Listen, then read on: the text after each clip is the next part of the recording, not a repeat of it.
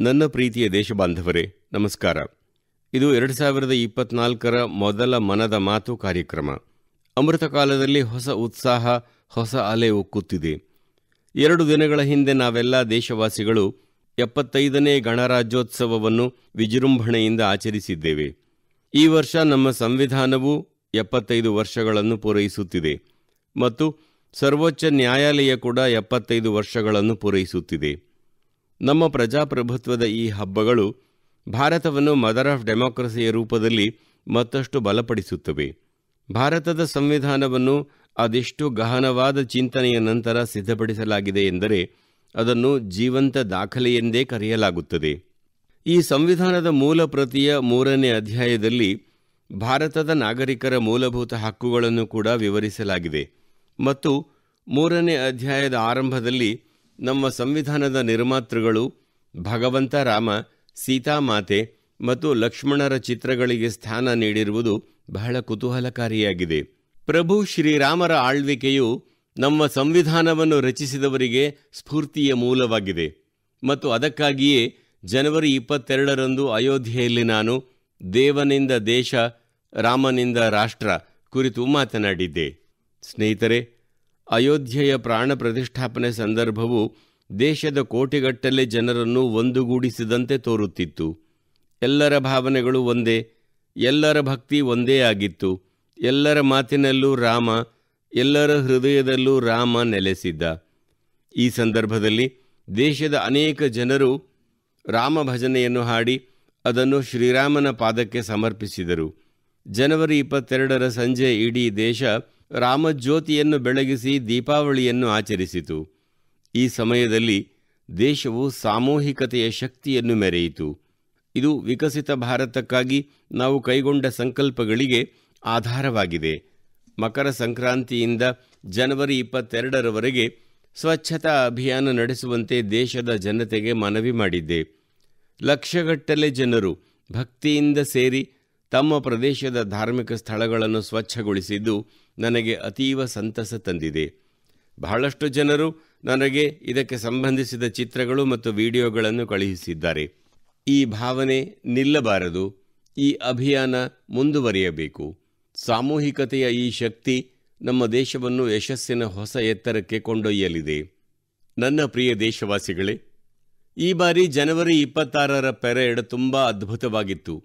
ಅದರಲ್ಲೂ ಕವಾಯತಿನಲ್ಲಿ ಮಹಿಳಾ ಶಕ್ತಿಯನ್ನು ನೋಡುವುದು ಹೆಚ್ಚು ಚರ್ಚೆಯ ವಿಷಯವಾಗಿತ್ತು. ಕರ್ತವ್ಯ ಪಥದಲ್ಲಿ ಕೇಂದ್ರ ಭದ್ರತಾ ಪಡೆ ಮತ್ತು ದೆಹಲಿ ಪೊಲೀಸ್ ಮಹಿಳಾ ತುಕಡಿಗಳು ಕವಾಯತು ಆರಂಭಿಸಿದಾಗ ಎಲ್ಲರೂ ಹೆಮ್ಮೆಯಿಂದ ಬೀಗಿದರು.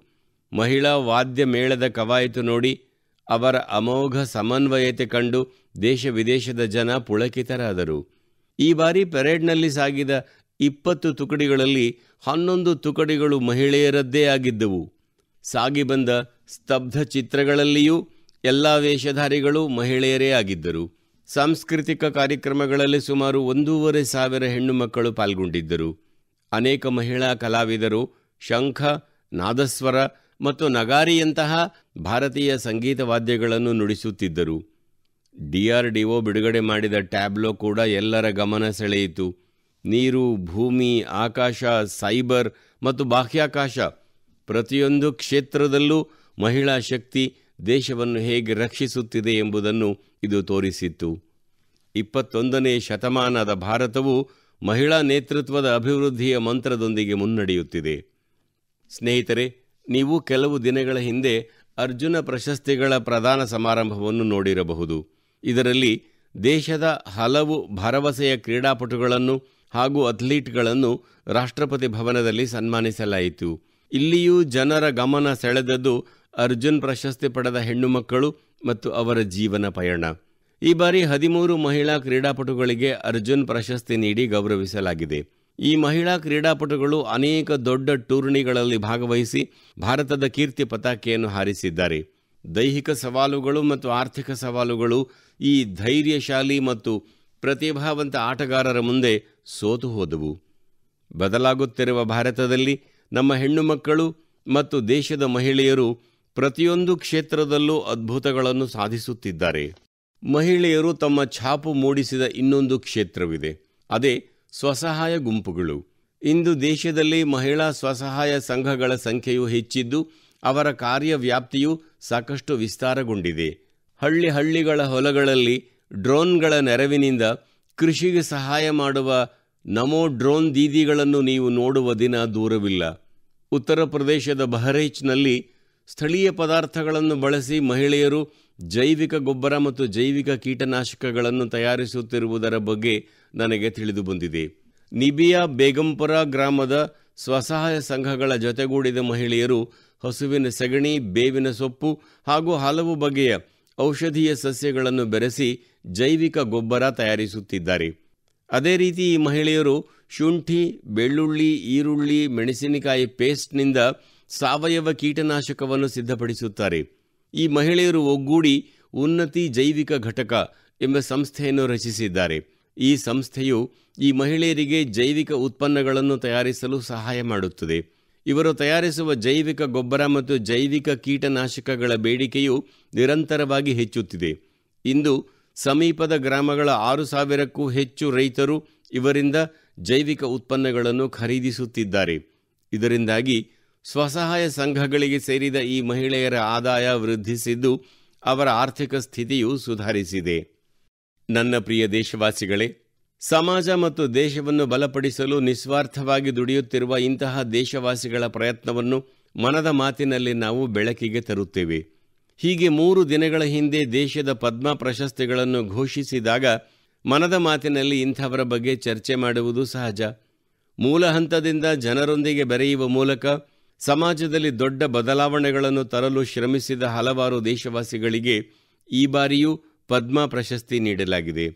ಈ ಸ್ಫೂರ್ತಿದಾಯಕ ಜನರ ಜೀವನ ಪಯಣದ ಬಗ್ಗೆ ತಿಳಿದುಕೊಳ್ಳಲು ದೇಶಾದ್ಯಂತ ಸಾಕಷ್ಟು ಕುತೂಹಲ ಕಂಡುಬಂದಿದೆ. ಮಾಧ್ಯಮದ ಮುಖ್ಯಾಂಶಗಳಿಂದ ದೂರವಿದ್ದು, ಪತ್ರಿಕೆಗಳ ಮುಖಪುಟಗಳಿಂದ ದೂರ ಉಳಿದ ಈ ಜನ ಯಾವುದೇ ಆಡಂಬರವಿಲ್ಲದೆ ಸಮಾಜ ಸೇವೆಯಲ್ಲಿ ತೊಡಗಿಸಿಕೊಂಡಿದ್ದರು. ನಾವು ಈ ಹಿಂದೆ ಈ ಜನರ ಬಗ್ಗೆ ಏನನ್ನೂ ನೋಡಿಲ್ಲ ಅಥವಾ ಕೇಳಿಲ್ಲ. ಆದರೆ ಈಗ ಪದ್ಮ ಪ್ರಶಸ್ತಿ ಘೋಷಣೆಯಾದ ನಂತರ ಎಲ್ಲೆಡೆ ಇಂಥವರ ಬಗ್ಗೆ ಚರ್ಚೆಯಾಗುತ್ತಿದ್ದು, ಅವರ ಬಗ್ಗೆ ಇನ್ನಷ್ಟು ತಿಳಿದುಕೊಳ್ಳಲು ಜನ ಕಾತರರಾಗಿರುವುದು ನನಗೆ ಸಂತೋಷ ತಂದಿದೆ. ಈ ಪದ್ಮ ಪ್ರಶಸ್ತಿ ಪುರಸ್ಕೃತರಲ್ಲಿ ಹೆಚ್ಚಿನವರು ತಮ್ಮ ತಮ್ಮ ಕ್ಷೇತ್ರಗಳಲ್ಲಿ ವಿಶಿಷ್ಟ ಕೆಲಸ ಮಾಡುತ್ತಿದ್ದಾರೆ. ಯಾರೋ ಆಂಬ್ಯುಲೆನ್ಸ್ ಸೇವೆಯನ್ನು ನೀಡುತ್ತಿದ್ದರೆ ಮತ್ತಾರೋ ನಿರ್ಗತಿಕರಿಗೆ ಸೂರು ಕಲ್ಪಿಸುವ ವ್ಯವಸ್ಥೆಯನ್ನು ಮಾಡುತ್ತಿದ್ದಾರೆ. ಕೆಲವರು ಸಾವಿರಾರು ಗಿಡಗಳನ್ನು ನೆಟ್ಟು ಪ್ರಕೃತಿ ಸಂರಕ್ಷಣೆಯ ಪ್ರಯತ್ನದಲ್ಲಿ ತೊಡಗಿದ್ದಾರೆ. ಆರುನೂರ ಐವತ್ತಕ್ಕೂ ಹೆಚ್ಚು ಭತ್ತದ ತಳಿಗಳ ಸಂರಕ್ಷಣೆಗೆ ಶ್ರಮಿಸಿದವರೂ ಇದ್ದಾರೆ. ಮಾದಕ ವ್ಯಸನ, ಮದ್ಯ ಸೇವನೆಯ ತಡೆಗೆ ಸಮಾಜದಲ್ಲಿ ಜಾಗೃತಿ ಮೂಡಿಸುತ್ತಿರುವವರೂ ಇದ್ದಾರೆ. ಅನೇಕ ಜನರು ಸ್ವಸಹಾಯ ಗುಂಪುಗಳೊಂದಿಗೆ, ವಿಶೇಷವಾಗಿ ನಾರಿ ಶಕ್ತಿ ಅಭಿಯಾನದೊಂದಿಗೆ ಜನರನ್ನು ಒಗ್ಗೂಡಿಸುವಲ್ಲಿ ತೊಡಗಿದ್ದಾರೆ. ಈ ಗೌರವಕ್ಕೆ ಪಾತ್ರರಾದವರಲ್ಲಿ ಮೂವತ್ತು ಮಂದಿ ಮಹಿಳೆಯರೇ ಆಗಿರುವ ಬಗ್ಗೆ ದೇಶವಾಸಿಗಳು ಸಂತಸ ವ್ಯಕ್ತಪಡಿಸಿದ್ದಾರೆ. ಈ ಮಹಿಳೆಯರು ಮೂಲ ಹಂತದಿಂದ ತಮ್ಮ ಕೆಲಸ ಮಾಡುವ ಮೂಲಕ ಸಮಾಜ ಮತ್ತು ದೇಶವನ್ನು ಮುನ್ನಡೆಸುತ್ತಿದ್ದಾರೆ. ಸ್ನೇಹಿತರೆ, ಪದ್ಮ ಪ್ರಶಸ್ತಿ ಪುರಸ್ಕೃತ ಪ್ರತಿಯೊಬ್ಬರ ಕೊಡುಗೆಯು ದೇಶವಾಸಿಗಳಿಗೆ ಸ್ಫೂರ್ತಿದಾಯಕವಾಗಿದೆ. ಶಾಸ್ತ್ರೀಯ ನೃತ್ಯ, ಶಾಸ್ತ್ರೀಯ ಸಂಗೀತ, ಜಾನಪದ ನೃತ್ಯ, ರಂಗಭೂಮಿ ಭಜನೆ ಲೋಕದಲ್ಲಿ ದೇಶಕ್ಕೆ ಕೀರ್ತಿ ತರುತ್ತಿರುವವರು ಈ ಬಾರಿ ಸನ್ಮಾನ ಸ್ವೀಕರಿಸಿದವರಲ್ಲಿ ಹೆಚ್ಚಿನ ಸಂಖ್ಯೆಯಲ್ಲಿದ್ದಾರೆ. ಪ್ರಾಕೃತ, ಮಾಳವಿ, ಲಂಬಾಣಿ ಭಾಷೆಗಳಲ್ಲಿ ಅತ್ಯುತ್ತಮ ಕೆಲಸ ಮಾಡಿದವರಿಗೂ ಈ ಗೌರವ ನೀಡಲಾಗಿದೆ. ಅನೇಕ ವಿದೇಶೀಯರು ಪದ್ಮ ಪ್ರಶಸ್ತಿಗೆ ಭಾಜನರಾಗಿದ್ದಾರೆ. ಇವರ ಕಾರ್ಯಗಳಿಂದ ಭಾರತೀಯ ಸಂಸ್ಕೃತಿ ಮತ್ತು ಪರಂಪರೆ ಹೊಸ ಉತ್ತುಂಗಕ್ಕೇರಿದೆ. ಇವರಲ್ಲಿ ಫ್ರಾನ್ಸ್, ತೈವಾನ್, ಮೆಕ್ಸಿಕೋ ಮತ್ತು ಬಾಂಗ್ಲಾದೇಶದ ನಾಗರಿಕರೂ ಸೇರಿದ್ದಾರೆ. ಸ್ನೇಹಿತರೆ, ಕಳೆದ ದಶಕದಲ್ಲಿ ಪದ್ಮ ಪ್ರಶಸ್ತಿಗಳ ವ್ಯವಸ್ಥೆ ಸಂಪೂರ್ಣವಾಗಿ ಬದಲಾಗಿರುವುದು ನನಗೆ ತುಂಬ ಸಂತಸ ತಂದಿದೆ. ಈಗ ಇದು ಪೀಪಲ್ಸ್ ಪದ್ಮ ಆಗಿ ಮಾರ್ಪಾಡಾಗಿದೆ. ಪದ್ಮ ಪ್ರಶಸ್ತಿ ನೀಡುವ ವ್ಯವಸ್ಥೆಯಲ್ಲಿಯೂ ಹಲವಾರು ಬದಲಾವಣೆಗಳಾಗಿವೆ. ಈಗ ಜನರು ಸ್ವತಃ ನಾಮನಿರ್ದೇಶನ ಮಾಡಿಕೊಳ್ಳಲು ಅವಕಾಶವಿದೆ. ಹೀಗಾಗಿ ಎರಡು ಸಾವಿರದ ಹದಿನಾಲ್ಕಕ್ಕೆ ಹೋಲಿಸಿದಲ್ಲಿ ಈ ಬಾರಿ ಇಪ್ಪತ್ತೆಂಟು ಪಟ್ಟು ಹೆಚ್ಚು ನಾಮಪತ್ರಗಳು ಸಲ್ಲಿಕೆಯಾಗಿವೆ. ಪದ್ಮ ಪ್ರಶಸ್ತಿಯ ಘನತೆ, ಅದರ ವಿಶ್ವಾಸಾರ್ಹತೆ ಮತ್ತು ಗೌರವವು ಪ್ರತಿ ವರ್ಷವೂ ಹೆಚ್ಚುತ್ತಿದೆ ಎಂಬುದು ಇದರಿಂದ ತಿಳಿಯುತ್ತದೆ. ಪದ್ಮ ಪ್ರಶಸ್ತಿ ಪಡೆದ ಎಲ್ಲರಿಗೂ ಮತ್ತೊಮ್ಮೆ ನನ್ನ ಶುಭಾಶಯಗಳು. ನನ್ನ ಪ್ರಿಯ ದೇಶವಾಸಿಗಳೇ, ಪ್ರತಿ ಜೀವನಕ್ಕೂ ಒಂದು ಗುರಿ ಇರುತ್ತದೆ. ಪ್ರತಿಯೊಬ್ಬರೂ ಗುರಿಯನ್ನು ಪೂರೈಸಲು ಹುಟ್ಟಿದ್ದಾರೆ ಎಂದು ಹೇಳಲಾಗುತ್ತದೆ. ಹಾಗಾಗಿ ಜನರು ಸಂಪೂರ್ಣ ನಿಷ್ಠೆಯಿಂದ ತಮ್ಮ ಕರ್ತವ್ಯಗಳನ್ನು ನಿರ್ವಹಿಸುತ್ತಾರೆ. ಕೆಲವರು ಸಮಾಜ ಸೇವೆಯ ಮೂಲಕ, ಕೆಲವರು ಸೈನ್ಯಕ್ಕೆ ಸೇರುವ ಮೂಲಕ, ಕೆಲವರು ಮುಂದಿನ ಪೀಳಿಗೆಗೆ ವಿದ್ಯಾದಾನ ಮಾಡುವ ಮೂಲಕ ತಮ್ಮ ಕರ್ತವ್ಯಗಳನ್ನು ನಿರ್ವಹಿಸುವುದನ್ನು ನಾವು ಕಂಡಿದ್ದೇವೆ. ಆದರೆ, ಸ್ನೇಹಿತರೆ, ಕೆಲವು ಜನರು ಜೀವನದ ಅಂತ್ಯದ ನಂತರವೂ ತಮ್ಮ ಜವಾಬ್ದಾರಿಯನ್ನು ನಿರ್ವಹಿಸುವವರು ನಮ್ಮ ಮಧ್ಯೆ ಇದ್ದಾರೆ. ಅಂಗಾಂಗ ದಾನದ ಮೂಲಕ ಅವರು ಈ ಕೆಲಸ ಮಾಡುತ್ತಾರೆ. ಇತ್ತೀಚಿನ ವರ್ಷಗಳಲ್ಲಿ ದೇಶದಲ್ಲಿ ಸಾವಿರಕ್ಕೂ ಹೆಚ್ಚು ಜನರು ತಮ್ಮ ಸಾವಿನ ನಂತರ ತಮ್ಮ ಅಂಗಾಂಗಗಳನ್ನು ದಾನ ಮಾಡಿದವರಿದ್ದಾರೆ. ಈ ನಿರ್ಧಾರ ಸುಲಭವಲ್ಲ. ಆದರೆ ಈ ನಿರ್ಧಾರ ಅನೇಕ ಜೀವಗಳನ್ನು ಉಳಿಸಲಿದೆ. ತಮ್ಮ ಪ್ರೀತಿ ಪಾತ್ರರ ಕೊನೆಯ ಆಸೆಗಳನ್ನು ಗೌರವಿಸಿದ ಕುಟುಂಬಗಳನ್ನು ಕೂಡ ನಾನು ಪ್ರಶಂಸಿಸುತ್ತೇನೆ. ಇಂದು ದೇಶದ ಅನೇಕ ಸಂಸ್ಥೆಗಳು ಸಹ ಈ ದಿಸೆಯಲ್ಲಿ ಬಹಳ ಸ್ಫೂರ್ತಿದಾಯಕ ಪ್ರಯತ್ನಗಳನ್ನು ಮಾಡುತ್ತಿವೆ. ಕೆಲವು ಸಂಸ್ಥೆಗಳು ಅಂಗಾಂಗ ದಾನದ ಬಗ್ಗೆ ಜನರಿಗೆ ಅರಿವು ಮೂಡಿಸುತ್ತಿವೆ. ಕೆಲವು ಸಂಸ್ಥೆಗಳು ಅಂಗಾಂಗ ದಾನ ಮಾಡಲು ಇಚ್ಛಿಸುವವರು ನೋಂದಾಯಿಸಿಕೊಳ್ಳಲು ಸಹಾಯ ಮಾಡುತ್ತಿವೆ. ಇಂತಹ ಪ್ರಯತ್ನಗಳಿಂದಾಗಿ ದೇಶದಲ್ಲಿ ಅಂಗಾಂಗ ದಾನದತ್ತ ಸಕಾರಾತ್ಮಕ ವಾತಾವರಣ ನಿರ್ಮಾಣವಾಗುತ್ತಿದ್ದು, ಜನರ ಪ್ರಾಣ ರಕ್ಷಣೆಯೂ ಆಗುತ್ತಿದೆ.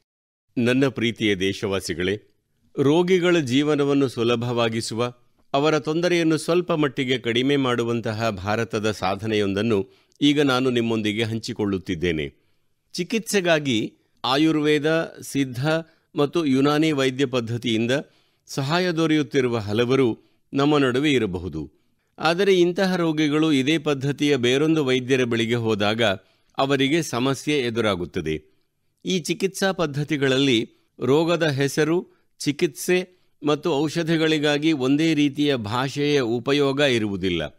ಪ್ರತಿ ಚಿಕಿತ್ಸಕರು ತಮ್ಮದೇ ರೀತಿಯಲ್ಲಿ ರೋಗದ ಹೆಸರು ಮತ್ತು ಚಿಕಿತ್ಸೆಯ ವಿಧಿವಿಧಾನಗಳನ್ನು ಬರೆಯುತ್ತಾರೆ. ಇದರಿಂದಾಗಿ ಬೇರೊಬ್ಬ ಚಿಕಿತ್ಸಕರಿಗೆ ಅರ್ಥ ಮಾಡಿಕೊಳ್ಳಲು ಕೆಲವೊಮ್ಮೆ ಕಷ್ಟವಾಗುತ್ತದೆ.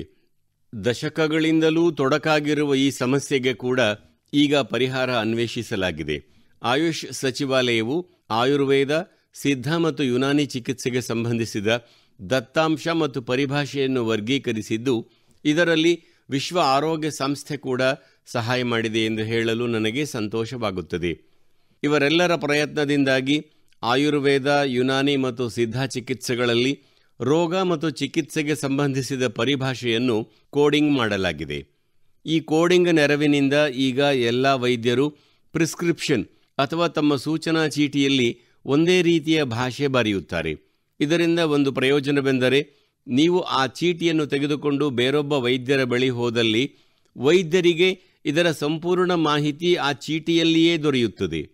ನಿಮ್ಮ ಕಾಯಿಲೆ, ಚಿಕಿತ್ಸೆ, ಯಾವ ಯಾವ ಔಷಧವನ್ನು ನಿಮಗೆ ನೀಡಲಾಗುತ್ತಿದೆ, ಎಂದಿನಿಂದ ನಿಮಗೆ ಚಿಕಿತ್ಸೆ ನೀಡಲಾಗುತ್ತಿದೆ, ನಿಮಗೆ ಯಾವ ಪದಾರ್ಥಗಳಿಂದ ಅಲರ್ಜಿ ಆಗುತ್ತದೆ ಇತ್ಯಾದಿಗಳನ್ನೆಲ್ಲ ತಿಳಿದುಕೊಳ್ಳಲು ಆ ಚೀಟಿಯಿಂದ ಸಹಾಯ ದೊರೆಯುತ್ತದೆ.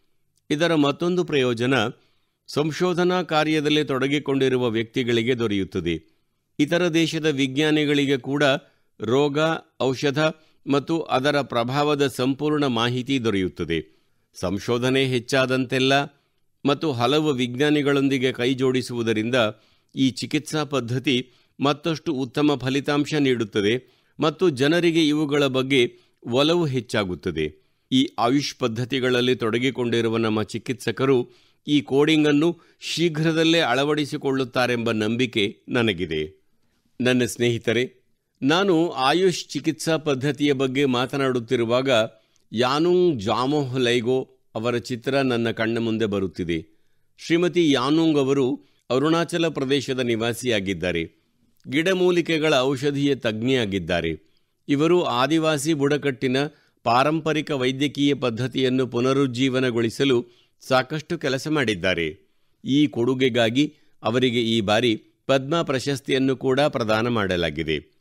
ಅದೇ ರೀತಿ ಈ ಬಾರಿ ಛತ್ತೀಸ್ಗಢದ ಹೇಮ್ಚಂದ್ ಮಾಂಜಿ ಅವರಿಗೂ ಕೂಡ ಪದ್ಮ ಪ್ರಶಸ್ತಿ ಪ್ರದಾನ ಮಾಡಲಾಗಿದೆ. ವೈದ್ಯರಾಜ್ ಹೇಮ್ಚಂದ್ ಮಾಂಜಿ ಅವರು ಕೂಡ ಆಯುಷ್ ಚಿಕಿತ್ಸಾ ಪದ್ಧತಿಯ ಸಹಾಯದಿಂದ ಜನರಿಗೆ ಚಿಕಿತ್ಸೆ ನೀಡುತ್ತಾರೆ. ಛತ್ತೀಸ್ಗಢನ ನಾರಾಯಣಪುರದಲ್ಲಿ ಬಡ ರೋಗಿಗಳಿಗೆ ಅವರು ಸುಮಾರು ಐದು ದಶಕಗಳಿಗಿಂತ ಹೆಚ್ಚು ಕಾಲದಿಂದ ಚಿಕಿತ್ಸೆ ಒದಗಿಸುತ್ತಿದ್ದಾರೆ. ನಮ್ಮ ದೇಶದಲ್ಲಿ ಆಯುರ್ವೇದ ಮತ್ತು ಗಿಡಮೂಲಿಕೆಗಳ ಔಷಧಗಳ ಖಜಾನೆಯೇ ಅಡಗಿದೆ. ಅವುಗಳ ಸಂರಕ್ಷಣೆಯಲ್ಲಿ ಶ್ರೀಮತಿ ಯಾನುಂಗ್ ಮತ್ತು ಹೇಮ್ಚಂದ್ ಅವರುಗಳಂತಹ ಜನರ ಬಹುದೊಡ್ಡ ಪಾತ್ರವಿದೆ. ನನ್ನ ಪ್ರೀತಿಯ ದೇಶವಾಸಿಗಳೇ, ಮನದ ಮಾತಿನ ಮೂಲಕ ನಮ್ಮ ನಿಮ್ಮ ನಡುವೆ ಏರ್ಪಟ್ಟಿರುವ ಈ ಬಾಂಧವ್ಯ ಒಂದು ದಶಕದಷ್ಟು ಹಳೆಯದಾಗಿದೆ. ಸೋಷಿಯಲ್ ಮೀಡಿಯಾ ಮತ್ತು ಅಂತರ್ಜಾಲದ ಈ ಯುಗದಲ್ಲಿ ಕೂಡ ಇಡೀ ದೇಶವನ್ನು ಸಂಪರ್ಕಿಸುವ ಒಂದು ಪ್ರಬಲ ಮಾಧ್ಯಮ ರೇಡಿಯೋ ಆಗಿದೆ. ರೇಡಿಯೋದ ಈ ಶಕ್ತಿ ಎಷ್ಟು ಬದಲಾವಣೆ ತರಲು ಸಾಧ್ಯ ಎನ್ನುವುದಕ್ಕೆ ಒಂದು ವಿಶಿಷ್ಟ ಉದಾಹರಣೆ ಛತ್ತೀಸ್ಗಢ್ನಲ್ಲಿ ಕಾಣಸಿಗುತ್ತದೆ. ಕಳೆದ ಸುಮಾರು ಏಳು ವರ್ಷಗಳಿಂದ ಇಲ್ಲಿನ ರೇಡಿಯೋದಲ್ಲಿ ಒಂದು ಜನಪ್ರಿಯ ಕಾರ್ಯಕ್ರಮ ಪ್ರಸಾರವಾಗುತ್ತಿದ್ದು, ಇದರ ಹೆಸರು ಹಮರ್ ಹಾಥಿ, ಹಮರ್ ಗೋಠ್ ಎಂಬುದಾಗಿದೆ. ಹೆಸರು ಕೇಳುತ್ತಿದ್ದಂತೆಯೇ ರೇಡಿಯೋ ಮತ್ತು ಆನೆಯ ನಡುವೆ ಇದೆಂತಹ ಕನೆಕ್ಷನ್ ಎಂದು ನಿಮಗೆ ಅನಿಸಬಹುದು. ಆದರೆ ಅದು ರೇಡಿಯೋದ ವಿಶೇಷತೆ. ಛತ್ತೀಸ್ಗಢ್ನಲ್ಲಿ ಆಕಾಶವಾಣಿಯ ಅಂಬಿಕಾಪುರ್, ರಾಯ್ಪುರ್, ಬಿಲಾಸ್ಪುರ್ ಮತ್ತು ರಾಯ್ಗಢ್ ಈ ನಾಲ್ಕು ಕೇಂದ್ರಗಳಿಂದ ಪ್ರತಿದಿನ ಸಂಜೆ ಈ ಕಾರ್ಯಕ್ರಮ ಪ್ರಸಾರವಾಗುತ್ತದೆ ಮತ್ತು ಛತ್ತೀಸ್ಗಢ್ನ ಅರಣ್ಯ ಮತ್ತು ಅದರ ಸುತ್ತಮುತ್ತಲಿನ ಪ್ರದೇಶಗಳಲ್ಲಿ ವಾಸವಿರುವ ಜನರು ಬಹಳ ಗಮನವಿಟ್ಟು ಈ ಕಾರ್ಯಕ್ರಮ ಆಲಿಸುತ್ತಾರೆಂದು ತಿಳಿದರೆ ನಿಮಗೆ ಆಶ್ಚರ್ಯವೆನಿಸಬಹುದು. ಆನೆಗಳ ಹಿಂಡು ಅರಣ್ಯದ ಯಾವ ಪ್ರದೇಶದಲ್ಲಿ ಓಡಾಡುತ್ತಿದೆ ಎಂಬ ಮಾಹಿತಿಯನ್ನು ಹಮರ್ ಹಾಥಿ ಹಮರ್ ಗೋಠ್ ಕಾರ್ಯಕ್ರಮದಲ್ಲಿ ಹೇಳಲಾಗುತ್ತದೆ. ಈ ಮಾಹಿತಿಯಿಂದ ಇಲ್ಲಿನ ಜನರಿಗೆ ಬಹಳ ಉಪಯೋಗವಾಗುತ್ತದೆ. ರೇಡಿಯೋದಿಂದ ಆನೆಗಳ ಹಿಂಡು ಬರುತ್ತಿರುವ ಮಾಹಿತಿ ದೊರೆಯುತ್ತಿದ್ದಂತೆಯೇ ಅವರು ಜಾಗರೂಕರಾಗುತ್ತಾರೆ. ಯಾವ ಮಾರ್ಗದಲ್ಲಿ ಆನೆಗಳು ಸಂಚರಿಸುತ್ತವೆಯೋ ಆ ಮಾರ್ಗದಲ್ಲಿ ಹೋಗುವ ಅಪಾಯ ತಪ್ಪುತ್ತದೆ. ಒಂದೆಡೆ ಇದು ಆನೆಗಳ ಹಿಂಡಿನಿಂದ ಸಂಭವಿಸಬಹುದಾದ ನಷ್ಟದ ಸಾಧ್ಯತೆಯನ್ನು ಕಡಿಮೆ ಮಾಡಿದರೆ, ಮತ್ತೊಂದೆಡೆ ಆನೆಗಳ ಕುರಿತ ದತ್ತಾಂಶ ಸಂಗ್ರಹಣೆಗೆ ಸಹಾಯ ದೊರೆಯುತ್ತದೆ. ಈ ದತ್ತಾಂಶದ ಉಪಯೋಗದಿಂದ ಭವಿಷ್ಯದಲ್ಲಿ ಆನೆಗಳ ಸಂರಕ್ಷಣೆಯಲ್ಲಿ ಕೂಡ ನೆರವು ದೊರೆಯುತ್ತದೆ. ಇಲ್ಲಿ ಆನೆಗಳ ಹಿಂಡಿನ ಕುರಿತ ಮಾಹಿತಿಯು ಸೋಷಿಯಲ್ ಮೀಡಿಯಾದ ಮೂಲಕ ಕೂಡ ಜನರಿಗೆ ತಲುಪಿಸಲಾಗುತ್ತಿದೆ. ಇದರಿಂದಾಗಿ ಅರಣ್ಯದ ಸುತ್ತಮುತ್ತ ವಾಸಿಸುವ ಜನರಿಗೆ ಆನೆಗಳೊಂದಿಗೆ ಸಾಮರಸ್ಯದಿಂದ ಇರುವುದು ಕೂಡ ಸುಲಭವಾಗಿದೆ. ಛತ್ತೀಸ್ಗಢದ ಈ ವಿಶಿಷ್ಟ ಉಪಕ್ರಮ ಮತ್ತು ಇದರ ಅನುಭವದ ಪ್ರಯೋಜನಗಳನ್ನು ದೇಶದ ಇತರ ಅರಣ್ಯ ಪ್ರದೇಶಗಳಲ್ಲಿ ವಾಸಿಸುವ ಜನರು ಕೂಡ ಪಡೆದುಕೊಳ್ಳಬಹುದಾಗಿದೆ. ನನ್ನ ಪ್ರೀತಿಯ ದೇಶವಾಸಿಗಳೇ, ಇದೇ ಜನವರಿ ಇಪ್ಪತ್ತೈದರಂದು ನಾವೆಲ್ಲರೂ ರಾಷ್ಟ್ರೀಯ ಮತದಾರರ ದಿನವನ್ನು ಆಚರಿಸಿದ್ದೇವೆ. ಇದು ನಮ್ಮ ಶ್ರೇಷ್ಠ ಪ್ರಜಾಪ್ರಭುತ್ವ ಸಂಪ್ರದಾಯಗಳಿಗೆ ಒಂದು ಮಹತ್ವದ ದಿನವಾಗಿದೆ. ಇಂದು ದೇಶದಲ್ಲಿ ಸುಮಾರು ತೊಂಬತ್ತಾರು ಕೋಟಿ ಮತದಾರರಿದ್ದಾರೆ. ಈ ಅಂಕಿಅಂಶ ಎಷ್ಟು ದೊಡ್ಡದೆಂದು ನಿಮಗೆ ತಿಳಿದಿದೆಯೇ? ಇದು ಅಮೆರಿಕಾ ದೇಶದ ಒಟ್ಟು ಜನಸಂಖ್ಯೆಗಿಂತಲೂ ಸುಮಾರು ಮೂರು ಪಟ್ಟು ಹೆಚ್ಚು. ಇದು ಇಡೀ ಯುರೋಪ್ನ ಒಟ್ಟು ಜನಸಂಖ್ಯೆಗಿಂತಲೂ ಸುಮಾರು ಒಂದೂವರೆ ಪಟ್ಟು ಹೆಚ್ಚು. ಮತದಾನ ಕೇಂದ್ರಗಳ ಬಗ್ಗೆ ಹೇಳುವುದಾದರೆ, ದೇಶದಲ್ಲಿ ಇಂದು ಇವುಗಳ ಸಂಖ್ಯೆ ಸುಮಾರು ಹತ್ತೂವರೆ ಲಕ್ಷ. ಭಾರತದ ಪ್ರತಿಯೊಬ್ಬ ನಾಗರಿಕನೂ ಪ್ರಜಾಪ್ರಭುತ್ವದ ತಮ್ಮ ಹಕ್ಕಿನ ಪ್ರಯೋಜನ ಪಡೆಯುವಂತಾಗಬೇಕು. ಇದಕ್ಕಾಗಿ ನಮ್ಮ ಚುನಾವಣಾ ಆಯೋಗ ಕೇವಲ ಓರ್ವ ಮತದಾರ ಇರುವಂತಹ ಸ್ಥಳದಲ್ಲಿ ಕೂಡ ಮತದಾನ ಕೇಂದ್ರವನ್ನು ಸ್ಥಾಪಿಸುತ್ತದೆ. ದೇಶದಲ್ಲಿ ಪ್ರಜಾಪ್ರಭುತ್ವದ ಮೌಲ್ಯಗಳನ್ನು ಬಲಗೊಳಿಸಲು ನಿರಂತರ ಪ್ರಯತ್ನಗಳನ್ನು ಮಾಡುತ್ತಿರುವ ಚುನಾವಣಾ ಆಯೋಗವನ್ನು ನಾನು ಪ್ರಶಂಸಿಸುತ್ತೇನೆ. ಸ್ನೇಹಿತರೆ, ಇಂದು ಜಗತ್ತಿನ ಹಲವು ದೇಶಗಳಲ್ಲಿ ಮತದಾನದ ಶೇಕಡಾವಾರು ಪ್ರಮಾಣ ಕಡಿಮೆಯಾಗುತ್ತಿದ್ದರೆ, ಭಾರತದಲ್ಲಿ ಮತದಾನದ ಶೇಕಡಾವಾರು ಹೆಚ್ಚಾಗುತ್ತಿರುವುದು ದೇಶಕ್ಕೆ ಸಂತಸದ ಸಂಗತಿಯೂ ಹೌದು. ಸಾವಿರದ ಒಂಬೈನೂರ ಐವತ್ತೊಂದು ಐವತ್ತೆರಡರಲ್ಲಿ ದೇಶದಲ್ಲಿ ಪ್ರಥಮ ಬಾರಿಗೆ ಚುನಾವಣೆ ನಡೆದಾಗ ಸುಮಾರು ಶೇಕಡ ನಲವತ್ತೈದರಷ್ಟು ಮತದಾರರು ಮಾತ್ರ ಮತ ಚಲಾಯಿಸಿದ್ದರು. ಈಗ ಈ ಅಂಕಿಅಂಶ ಸಾಕಷ್ಟು ಹೆಚ್ಚಳವಾಗಿದೆ. ದೇಶದಲ್ಲಿ ಕೇವಲ ಮತದಾರರ ಸಂಖ್ಯೆಯಲ್ಲಿ ಮಾತ್ರವೇ ಹೆಚ್ಚಳವಾಗಿಲ್ಲ. ಮತ ಚಲಾಯಿಸುವವರ ಸಂಖ್ಯೆಯಲ್ಲಿ ಕೂಡ ಹೆಚ್ಚಳವಾಗಿದೆ. ನಮ್ಮ ಯುವ ಮತದಾರರಿಗೆ ನೋಂದಾಯಿಸಿಕೊಳ್ಳಲು ಹೆಚ್ಚಿನ ಅವಕಾಶ ದೊರೆಯಬೇಕೆಂದು ಸರ್ಕಾರವು ಕಾನೂನಿನಲ್ಲಿ ಕೂಡ ಬದಲಾವಣೆ ತಂದಿದೆ. ಮತದಾರರಲ್ಲಿ ಜಾಗೃತಿ ಹೆಚ್ಚಿಸುವುದಕ್ಕಾಗಿ ಸಮುದಾಯ ಹಂತದಲ್ಲಿ ಕೂಡ ಪ್ರಯತ್ನಗಳು ನಡೆಯುತ್ತಿರುವುದನ್ನು ನೋಡಿ ಹರ್ಷವೆನಿಸುತ್ತದೆ. ಅನೇಕರು ಮನೆ ಮನೆಗಳಿಗೆ ತೆರಳಿ ಮತದಾರರಿಗೆ ಮತದಾನ ಕುರಿತು ಹೇಳುತ್ತಿದ್ದಾರೆ. ಕೆಲವು ಕಡೆ ಪೇಂಟಿಂಗ್ಗಳನ್ನು ಸಿದ್ಧಪಡಿಸಿ, ಕೆಲವು ಕಡೆ ಬೀದಿ ನಾಟಕಗಳ ಮೂಲಕ ಯುವಜನತೆಯನ್ನು ಆಕರ್ಷಿಸುತ್ತಿದ್ದಾರೆ. ಇಂತಹ ಪ್ರತಿ ಪ್ರಯತ್ನ ನಮ್ಮ ಪ್ರಜಾಪ್ರಭುತ್ವದ ಹಬ್ಬದಲ್ಲಿ ಹಲವು ಬಣ್ಣಗಳನ್ನು ತುಂಬುತ್ತಿದೆ. ಮತದಾರರ ಪಟ್ಟಿಯಲ್ಲಿ ನಿಮ್ಮ ಹೆಸರನ್ನು ಖಂಡಿತವಾಗಿಯೂ ಸೇರಿಸಿ ಎಂದು ಮನದ ಮಾತಿನ ಮೂಲಕ ನಾನು ನಮ್ಮ ಫಸ್ಟ್ ಟೈಮ್ ವೋಟರ್ಸ್ಗೆ ಹೇಳಲು ಬಯಸುತ್ತೇನೆ. ರಾಷ್ಟ್ರೀಯ ಮತದಾರ ಸೇವಾ portal, national voter service portal ಮತ್ತು ವೋಟರ್ ಹೆಲ್ಪ್ಲೈನ್ ಆ್ಯಪ್ ಮೂಲಕ ಇದನ್ನು ಸುಲಭವಾಗಿ ಆನ್ಲೈನ್ನಲ್ಲಿ ಪೂರ್ಣಗೊಳಿಸಬಹುದು. ನಿಮ್ಮ ಒಂದು ಮತ ದೇಶದ ಭಾಗ್ಯವನ್ನೇ ಬದಲಾಯಿಸಬಹುದು, ದೇಶದ ಭಾಗ್ಯವಾಗಬಹುದು ಎಂಬುದನ್ನು ನೀವು ಸದಾ ನೆನಪಿನಲ್ಲಿಟ್ಟುಕೊಳ್ಳಿ. ನನ್ನ ಪ್ರೀತಿಯ ದೇಶವಾಸಿಗಳೇ, ಇಂದು ಜನವರಿ ಇಪ್ಪತ್ತೆಂಟರಂದು ವಿವಿಧ ಕಾಲಘಟ್ಟಗಳಲ್ಲಿ ದೇಶಪ್ರೇಮಕ್ಕೆ ಉದಾಹರಣೆಯಾಗಿ ನಿಂತಿರುವ ಭಾರತದ ಇಬ್ಬರು ಮಹಾನ್ ವ್ಯಕ್ತಿಗಳ ಜನ್ಮ ಜಯಂತಿಯನ್ನು ಕೂಡ ಆಚರಿಸಲಾಗುತ್ತಿದೆ. ಇಂದು ದೇಶ ಪಂಜಾಬ್ ಕೇಸರಿ ಲಾಲಾ ಲಜಪತ್ ರಾಯ್ ಅವರಿಗೆ ಗೌರವ ನಮನ ಸಲ್ಲಿಸುತ್ತಿದೆ. ಲಾಲಾಜಿಯವರು ಸ್ವಾತಂತ್ರ್ಯ ಹೋರಾಟಗಾರರಾಗಿದ್ದರು. ಅವರು ಪರಕೀಯರ ಆಳ್ವಿಕೆಯಿಂದ ನಮ್ಮನ್ನು ಮುಕ್ತಗೊಳಿಸಲು ತಮ್ಮ ಜೀವನವನ್ನು ತ್ಯಾಗ ಮಾಡಿದರು. ಲಾಲಾಜಿಯವರ ವ್ಯಕ್ತಿತ್ವವನ್ನು ಕೇವಲ ಸ್ವಾತಂತ್ರ್ಯ ಹೋರಾಟಕ್ಕೆ ಮಾತ್ರ ಸೀಮಿತವಾಗಿಸಲು ಸಾಧ್ಯವಿಲ್ಲ. ಅವರು ಬಹಳ ದೂರದೃಷ್ಟಿ ಉಳ್ಳವರಾಗಿದ್ದರು ಅವರು ಪಂಜಾಬ್ ನ್ಯಾಷನಲ್ ಬ್ಯಾಂಕ್ ಮತ್ತು ಹಲವು ಸಂಸ್ಥೆಗಳ ಸ್ಥಾಪನೆಯಲ್ಲಿ ಪ್ರಮುಖ ಪಾತ್ರ ವಹಿಸಿದ್ದರು. ವಿದೇಶಿಯರನ್ನು ದೇಶದಿಂದ ಹೊರಹಾಕುವುದು ಮಾತ್ರ ಅವರ ಉದ್ದೇಶವಾಗಿರಲಿಲ್ಲ. ದೇಶಕ್ಕೆ ಆರ್ಥಿಕ ಬಲವನ್ನು ನೀಡುವ ಉದ್ದೇಶ ಅವರ ಚಿಂತನೆಯ ಪ್ರಮುಖ ಭಾಗವಾಗಿತ್ತು. ಅವರ ಚಿಂತನೆಗಳು ಮತ್ತು ತ್ಯಾಗವು ಭಗತ್ ಸಿಂಗ್ ಅವರ ಮೇಲೆ ಬಹಳ ಪ್ರಭಾವ ಬೀರಿತ್ತು. ಇಂದು field marshal K M Kariappa ಅವರಿಗೆ ಗೌರವಪೂರ್ವಕವಾಗಿ ನಮಸ್ಕಾರಗಳನ್ನು ಸಲ್ಲಿಸುವ ದಿನವೂ ಹೌದು. ಇತಿಹಾಸದ ಮಹತ್ವದ ಕಾಲದಲ್ಲಿ ನಮ್ಮ ಸೈನ್ಯವನ್ನು ಮುನ್ನಡೆಸುವ ಮೂಲಕ ಅವರು ಧೈರ್ಯ ಮತ್ತು ಶೌರ್ಯಕ್ಕೆ ಉದಾಹರಣೆಯಾಗಿದ್ದಾರೆ. ನಮ್ಮ ಸೇನೆಯನ್ನು ಬಲಿಷ್ಠಗೊಳಿಸುವಲ್ಲಿ ಅವರು ಮಹತ್ವದ ಕೊಡುಗೆ ನೀಡಿದ್ದಾರೆ. ನನ್ನ ಪ್ರೀತಿಯ ದೇಶವಾಸಿಗಳೇ, ಇಂದು ಕ್ರೀಡಾ ಜಗತ್ತಿನಲ್ಲಿಯೂ ಭಾರತ ಹೊಸ ಎತ್ತರವನ್ನು ಮುಟ್ಟುತ್ತಿದೆ. ಕ್ರೀಡಾ ಜಗತ್ತಿನಲ್ಲಿ ಪ್ರಗತಿ ಸಾಧಿಸಲು, ಆಟಗಾರರಿಗೆ ಹೆಚ್ಚು ಹೆಚ್ಚು ಕ್ರೀಡೆಗಳನ್ನಾಡಲು ಅವಕಾಶಗಳು ದೊರೆಯುವುದು ಮತ್ತು ದೇಶದಲ್ಲಿ ಉತ್ತಮ ಕ್ರೀಡಾ ಪಂದ್ಯಾವಳಿಗಳನ್ನು ಆಯೋಜಿಸುವುದು ಕೂಡ ಅಗತ್ಯವಾಗಿದೆ. ಇದೇ ಚಿಂತನೆಯೊಂದಿಗೆ ಇಂದು ಭಾರತದಲ್ಲಿ ಹೊಸ ಹೊಸ ಕ್ರೀಡಾಕೂಟಗಳನ್ನು ಆಯೋಜಿಸಲಾಗುತ್ತಿದೆ. ಕೆಲವು ದಿನಗಳ ಹಿಂದೆಯಷ್ಟೇ ಚೆನ್ನೈನಲ್ಲಿ ಖೇಲೋ ಇಂಡಿಯಾ ಯುವ ಕ್ರೀಡಾಕೂಟ ಉದ್ಘಾಟಿಸಲಾಯಿತು. ಇದರಲ್ಲಿ ದೇಶದ ಐದು ಸಾವಿರಕ್ಕೂ ಅಧಿಕ ಕ್ರೀಡಾಪಟುಗಳು ಭಾಗವಹಿಸಿದ್ದಾರೆ. ಇಂದು ಭಾರತದಲ್ಲಿ ಇಂತಹ ಹೊಸ ವೇದಿಕೆಗಳು ಸತತವಾಗಿ ಸೃಷ್ಟಿಯಾಗುತ್ತಿದ್ದು, ಇದರಲ್ಲಿ ಕ್ರೀಡಾಪಟುಗಳಿಗೆ ತಮ್ಮ ಸಾಮರ್ಥ್ಯ ಪ್ರದರ್ಶಿಸುವ ಅವಕಾಶ ದೊರೆಯುತ್ತಿರುವುದು ನನಗೆ ಸಂತಸವೆನಿಸುತ್ತಿದೆ. ಇಂತಹ ಒಂದು ವೇದಿಕೆಯೇ ಬೀಚ್ ಗೇಮ್ಸ್. ಇದನ್ನು ದಿಯು ಇಲ್ಲಿ ಆಯೋಜಿಸಲಾಗಿತ್ತು. ದಿಯು ಕೇಂದ್ರಾಡಳಿತ ಪ್ರದೇಶವೆಂದು ಇದು ಸೋಮನಾಥ್ಗೆ ಬಹಳ ಸಮೀಪ ಇದೆ ಎಂದು ನಿಮಗೆ ತಿಳಿದೇ ಇದೆ. ಈ ವರ್ಷದ ಆರಂಭದಲ್ಲಿಯೇ ದಿಯುವಿನಲ್ಲಿ ಈ ಬೀಚ್ ಗೇಮ್ಸ್ ಆಯೋಜಿಸಲಾಗಿತ್ತು. ಇದು ಭಾರತದ ಪ್ರಥಮ ಮಲ್ಟಿ ಸ್ಪೋರ್ಟ್ಸ್ ಬೀಚ್ ಗೇಮ್ಸ್ ಆಗಿತ್ತು. ಇದರಲ್ಲಿ tug of war, sea swimming pencak silat mallakhamb, beach volleyball, beach kabaddi, beach soccer ಮತ್ತು ಬೀಚ್ ಬಾಕ್ಸಿಂಗ್ ಇತ್ಯಾದಿ ಸ್ಪರ್ಧೆಗಳು ನಡೆದವು. ಇದರಲ್ಲಿ ಪ್ರತಿಯೊಬ್ಬ ಸ್ಪರ್ಧಿಗೂ ತಮ್ಮ ಪ್ರತಿಭಾ ಪ್ರದರ್ಶನಕ್ಕೆ ಸಾಕಷ್ಟು ಅವಕಾಶ ದೊರೆಯಿತು ಮತ್ತು ಈ ಪಂದ್ಯಾವಳಿಯಲ್ಲಿ ಸಮುದ್ರದೊಂದಿಗೆ ಯಾವುದೇ ಸಂಬಂಧವಿಲ್ಲದ ದೂರ ದೂರದ ರಾಜ್ಯಗಳಿಂದ ಕೂಡ ಬಹಳಷ್ಟು ಕ್ರೀಡಾಪಟುಗಳು ಬಂದಿದ್ದರೆಂದು ತಿಳಿದು ನಿಮಗೆ ಆಶ್ಚರ್ಯವಾಗಬಹುದು. ಯಾವುದೇ ಸಮುದ್ರ ತೀರವಿಲ್ಲದ ಮಧ್ಯಪ್ರದೇಶ ಈ ಪಂದ್ಯಾವಳಿಯಲ್ಲಿ ಎಲ್ಲಕ್ಕಿಂತ ಹೆಚ್ಚು ಪದಕಗಳನ್ನು ಗೆದ್ದುಕೊಂಡಿತು. ಕ್ರೀಡೆಗಳಿಗಾಗಿನ ಈ ಒಲವು ಯಾವುದೇ ದೇಶವನ್ನು ಕ್ರೀಡಾ ಪ್ರಪಂಚದಲ್ಲಿ ಅಗ್ರಗಣ್ಯವನ್ನಾಗಿಸಬಹುದು.